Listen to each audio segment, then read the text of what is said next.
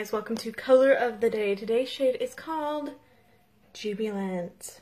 Isn't that pretty? So let's have a close look at this. So it's the shade that is on my lid. Again, it's just another one of those natural looking shades. It's really, really pretty for a simple look, kind of like today. Alright, thanks for watching. I'll see you guys tomorrow.